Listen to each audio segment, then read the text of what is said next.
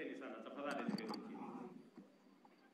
Mheshimiwa Deputy President, mawaziri mlio hapa, gavana wetu hapa Kiambu, wabunge, MCAs, wananchi wa Kiambu wa mjambo, Ruiru wa mjambo. Bwana Yesu asifiwe. Hebu mnisalimie hivyo hewani nione. Asanteni sana. Mimi kwanza nataka nichukue nafasi hii kwanza nimshukuru Mungu kwa kutupatia nafasi tuweze kufika hapa Ruiru siku ya leo. Poleni kidogo tuliwa ambush, najua vile eh, PS wetu amesema. Niliamua jana ya kwamba itabidi tufike hapa kwa sababu tuko na miradi nyingi ambazo tunazihitaji kuianzisha, so tuliharakisha kidogo, lakini nimefurahi ya kwamba tumefika hapa leo ili tuanzishe mradi huu wa muhimu sana ambayo inaambatana na manifesto yetu ya mambo ya manyumba katika taifa letu la Kenya. Na asante sana kwa kutukaribisha hapa Ruiru. Nataka pia nichukue nafasi hii tena niwashukuru wananchi wa Ruiru na wananchi wa Kiambu kwa kutupatia imani yenu na kura zenu, ndio tukatengeneza serikali ya taifa letu la Kenya. Narudia tena kusema asante sana kwa niaba ya wale wote waliochaguliwa, ma MCAs wetu hapa, wabunge, senators, gavana wetu huyu uh, my deputy Rigiji na mimi nasema asante sana. Mimi vile vile nataka niwaambie hawa viongozi wote ya kwamba sasa, kwa sababu wananchi wametimiza sehemu yao, wametupatia kura zao na imani yao na nafasi ya kupeleka Kenya mbele. Nafasi ambayo imebaki ni yetu sasa kuungana na kutimiza sehemu yetu ya hii kandarasi tulionayo na wananchi.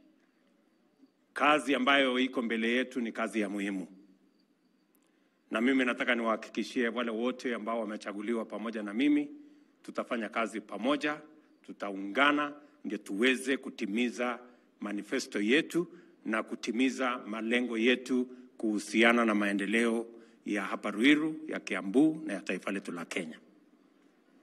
Nataka niwapongeze pia kwa kumchagua huyu Simon King'ara, huyu muungwana huyu. Vile mumese, vile mlisikia Deputy President alikuwa amesema huyu jamaa alikuwa ni wakuzama, lakini nafikiri kwa sababu ni mtu wa kanisa alijipanga hapo, na nasema hivyo kwa sababu mimi nimefanya kazi na huyu Simon. Huyu mheshimiwa mara nyingi nikiwa deputy president alikuja kwa ofisi na tukaongea mambo nyingi. Kwanza kuna wakati alikuja akaniambia hatuna any boarding school Ruiru, tuko na shamba kwa Ruiru Girls. Tukakuja tukajenga boarding school pale Ruiru Girls. Akarudi akaniambia tuko na matatizo ya mambo ya usalama tunataka tujenge police station. Tukakubaliana na yeye, tumejenga police station tatu. Akarudi tena akaniambia tuko na shida ya watu wanaenda mpaka Kiambu kutafuta locots. Tukakuja hapa tumejenga locots iko tayari. Akakuja tena, ndio mjue huyu mtu atosheki. Akarudi tena akaniambia hatuna technical training college tumejenga sasa technical training college hapa, imekamilika. Na mimi nataka niwaambie watu wa Ruiru, sasa tuko katika awamu ya kutafuta equipment ya hiyo technical training college. Tayari wizara ya elimu tumepanga milioni hamsini ya kuweka equipment katika hiyo technical training college ya Ruiru, na procurement ya hiyo equipment inaendelea saa hizi. So in the next three, four months, we will have equipment kwa sababu inatoka uh, kule nje, itakuwa tayari for the development of uh, uh, our TVET ili vijana wengi ambao tunawahitaji katika kuendesha Kenya mbele wawe na skills, wawe na competencies, watatusaidia kufanya kazi hata kama ile itaendelea hapa ya ujenzi. Huyu muungwana pia alikuja siku moja mpaka kwa ofisi yangu na gambut. Kamuuliza, mheshimiwa, iko shida gani? Mkuja kwa ofisi na kambutu, wewe uone iko carpet hapa? Akaniambia ati Ruiru town ati ni mahali ya matope. So tafadhali, kama unataka mimi nisikuja hapa na gambut tena, tunataka ile Ruiru town iwekwe iwekwe lami. Tukakuja tukaweka Ruiru towns lami, si ni kweli mheshimiwa? Sasa gambut usivae tena kuja huko. So hiyo kazi yote, na ndio mi nasema pongezi kwa watu wa hapa kwa kumchagua huyu mungwana. Ni mtu ambaye wa bidii anafanya kazi, na uendelee na hiyo roho mheshimiwa, ukazane namna hiyo, na ushirikiane na hawa viongozi na watu wale wengine wote, tuweze kupeleka kazi ya Ruiru e, iende mbele. Leo tumefika hapa kwa sababu ya hii kazi ya ujenzi, na ni kazi ya muhimu. Nataka niwaambie ya kwamba hii ujenzi tumeanzisha hapa ni nyumba elfu moja hapa Kiambu. Tumekubaliana na gavana wenu na wizara yetu ya kwamba Kiambu tunajenga nyumba elfu hamsini 50,000. Hii sasa ni 1,000, sasa imebaki 49,000 na tumekubaliana na Wamatangi ya kwamba atafute ardhi katika kila township kubwa hapa Kiambu, tuweze kugawana hizo manyumba, kwa sababu tunataka kuondoa aibu ya watu kuishi mahali ambapo hapafai. Watu wengi, karibu watu milioni sita Kenya wanaishi katika informal settlements, mahali inaitwa slums. Watu wanaishi mahali hakuna maji, hakuna barabara, hakuna choo, hakuna taa, mahali pachafu, na ndio tumesema we must dignify the people of Kenya. So hiyo kazi ambayo tunataka kufanya ni hatua ya kuhakikisha ya kwamba Wakenya wataishi mahali pazuri. Ni safari mrefu, itachukua muda, lakini tutaanza sasa.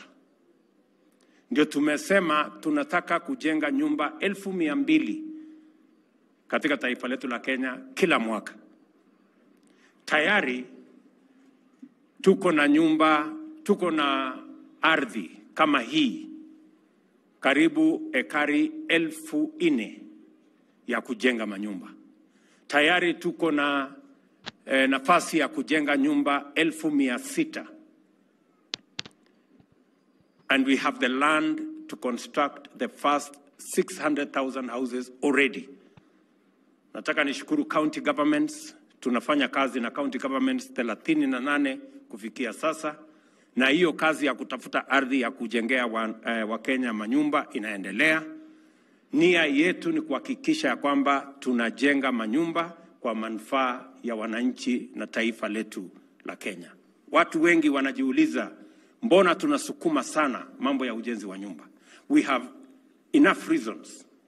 Hii kujenga nyumba iko na faida kubwa. Ya kwanza, itatupatia makao mazuri ya wananchi na watu wa taifa letu la Kenya. Jambo la pili, itatupatia nafasi ya ajira. Hapa mmesikia vijana elfu tatu watafanya kazi hapa na wafanyabiashara wengine karibu elfu mbili watafanya kazi hapa. Jambo la tatu, tutaendesha biashara hapa. Kutakuwa na, tutanunua simiti, tutanunua mawe, tutanunua kware, na mumesikia ya kwamba wale watu wa jua kali hapa, mwanze kujipanga.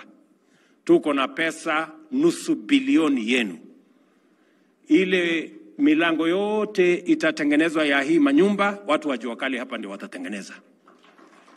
Madirisha ndio wao ndio watatengeneza. All the other products that will be required, the housing products that are required for the construction of this uh, housing project itatolewa kwa wananchi wa hapa, na contractor anaelewa. Tumemwambia ya kwamba wale watu wote wa, wa, wa, wa ujenzi kama ni masons, kama ni carpenters, kama ni plumbers, kama ni technicians, kama ni eh, electricians na kila mtu itakuwa ni watu wa hapa Ruiru ndio watafanya hiyo kazi. So watu wa Ruiru mjipange, kwa sababu tunataka kufanya hivyo katika kila sehemu ya Kenya. Nataka ni eh, nikubaliane na nyinyi ya kwamba hiyo kazi tutashirikiana. Nitarudi hapa tena na tena mpaka tufikishe nyumba elfu hamsini ya watu wa hapa Kiambu. Um, nataka vile vile tukubaliane, najua ya kwamba hawa viongozi wamesema yale mambo mengine tulikubaliana na nyinyi tulikubaliana ya kwamba watu wengi walikuwa wanaishi ama wanafanya biashara mahali ambapo pako na hakuna, hakuna uh, ujenzi, hakuna maji, hakuna usafi, na ndio tukakubaliana ya kwa, awamu ya kwanza tukajenga masoko tano hapa Kiambu. Tumejenga soko pale Kikuyu, mimi nilienda kuianzisha, imekamilika, watu wanatumia. Tumejenga soko hapa Githurai, tumejenga soko hapa Ruiru, tumejenga soko kule eh, Juja, lakini sasa bado tuko na bado tuko na matatizo. Tumekubaliana na wizara ya kwamba pale Kidhunguri, mimi nimesimama hapo mara nyingi, ile soko ni ya makaratasi, na tumekubaliana tunaanza na hapo. Sasa tutajenga tutajenga soko kubwa pale Kidhunguri, soko ya Wangige, tujenge soko Wangige pale pia madaraka pale eh, Thika town pia hapo ni ya makaratasi hapo pia iko katika mpango yetu. Eh, tumekubaliana pia pale Kangangi tuweze kupanua ile eh, soko iko pale, na vile vile turudi hapa hapa Githurai. Githurai kweli nakubali ya kwamba ile soko imejengwa, lakini watu wengi wale wa- wako nje ni mara tatu yale wale wako watapata huko ndani. So tumekubaliana ya kwamba awamu ya pili ama phase 2 ya Githurai tutaweka katika mpango yetu ya the next plan. Lakini hata nikisema hivyo, na pia niliita huyu gavana wenu nikaketi chini na yeye nikamwambia ile kazi kaunti lazima ifanye, ndio tuunganishe, ndio program yetu iweze kutembea vizuri. Huyu wa Matangi nishamwambia tayari. Tulikubaliana pia na wananchi wengi ya kwamba kuna zile towns ndogo ndogo, na tumekubaliana na county government watafute ardhi, na Wamatangi ameniambia wamepata ardhi katika masoko ishirini. Tutajenga soko ishirini ingine zile ndogo, na mpango yetu ni kuweka shilingi bilioni moja katika kupanga hiyo mambo ya masoko ili tuweze kusaidia wakulima, eh, wafanyabiashara wale wote ambao wanaendesha biashara zao waweze kupata mahali pazuri pa kufanya hiyo biashara. Kwa hivyo we will be coming shortly. Uh, the ministry will work with the county government. We have already designed the markets. Uh, we have agreed on a uniform design so that we can uh, have a market that is functional and that has all the facilities kusaidia kwa mambo yetu ya biashara, na tunafanya hivyo hapa Kiambu wakati tunapanga ile ingine yote katika Kenya. Hapa vile vile tulikubaliana na nyinyi ya kwamba tutafanya mambo ya maji. Tuko na mradi kubwa ambayo imetugharimu karibu shilingi bilioni ishirini hapa Karimenu. Maji sasa, wiki mbili iliyopita maji imefika hapa Ruiru. Tunaelewana? Another two, three weeks maji itafika Githurai, na tumesema 70% ya maji ya pale Karemenu itakuwa ya hapa Kiambu. 30% mtusaidie ifike Nairobi, ama mtatukataza maji 30% peke yake, so ile ingine nyingi itatumika hapa. So eh, nimeongea na watu wa wizara ya maji, ile maji tuliaidiana itafika hapa. Sasa tutaongeza kwa sababu we have all uh, the requisite uh, networks to make sure that we deliver water in Ruiru. In another two, three weeks, we will deliver water in Githurai as per our commitment. Tuko na shida kidogo kwa sababu hiyo maji haijafika Thika, na mimi nataka niseme ya kwamba tayari tumeanza kupangana kidogo, ilibaki nyuma, lakini nimeambia wizara waongee na yule contractor, na sasa tutapanga. Inahitaji an extra almost uh, 4 billion shillings to get water to Thika and Witeithie na hiyo sehemu yote hiyo. Mimi nataka mniwaambie, mnipatie tu nafasi kidogo kama ya mwezi moja nimalize mazungumzo ndio tuanze hiyo pro, hiyo project. Vile vile tuko na mradi wa Ruiru 2 ambaye ingepatiana maji mpaka hata huko Kiambaa vile wa, wa huyu kijana eh, Kawanjiko amesema. Hiyo mradi ilikwama kwa sababu contractor alipatiwa hiyo kazi karibu miaka saba iliyopita, na amekuwa mkora, amekuwa mjanja, so tunampangia. Uh, tunampangia. Tunampangia ndio aende afanye kazi ingine, hata kuchoma makaa ni kazi, anaweza kwenda kufanya hiyo, alafu ndio tutafute mtu mwenye atakuja kukamilisha hiyo eh, hiyo kazi, ndio tuweze kupata maji ya kule eh, kutoka Ruiru tu iweze kutupeleka uh, kutusaidia kufikisha maji the other places that we are looking for water. Mimi nataka vile vile niseme ya kwamba katika ile miradi ingine, mipango ingine yote tutashirikiana pamoja na viongozi wenu. Tuko na mpango kamili ya kuhakikisha kwamba tunapanga ajira ya vijana wetu, tunapanga biashara na tunapanga kuzalisha uchumi, tuhakikisha kwamba uchumi wa Kenya is on sound footing. Uh, wakati hii mradi inaendelea hapa, tumekubaliana na huyu contractor ya kwamba wale watu watakuja kuishi hapa an extra 1000 people wako na watoto. Na hao watoto wa, lazima waende shule. So nimekubaliana na wao hapa Ruiru Primary na St George Primary wataenda kujenga madarasa kumi na mbili kule mahali watoto ambao wata, watakuja kuishi hapa wataenda kupata shule yao hapa. I'm told it is a kilometer, is a kilometer away. Na vile vile pale kwa hospitali, kwa sababu hata hawa watu ambao wanakuja kuishi hapa watahitaji hospitali. Mmesikia kwamba kule hakuna male ward, so bwana Hinga panga na contractor, twende tujenge male ward katika hiyo hospitali iko hapo, wakati tunapanga mambo ingine ya, ya serikali ya kuinua eh, that, eh, that facility, na tutaketi chini na county government tuone hiyo facility itaenda mbele namna gani.